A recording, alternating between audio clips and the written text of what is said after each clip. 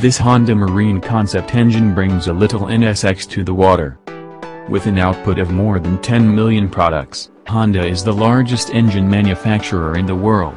Aside from its automotive and motorcycle divisions, Honda builds engines for lawnmowers, generators, airplanes, and boats. Most of the time these divisions run independently, but occasionally some traits or designs will bleed over across the divisions, like with this Acura NSX-inspired Honda Marine engine concept.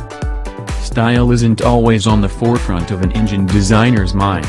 Most of the time, an engine isn't designed to be beautiful, it's designed to burn fuel in order to make power and torque to occasionally move an object from point A to point B. This new Honda isn't slated for production, so the engineers were given a chance to inject some style and substance into the design.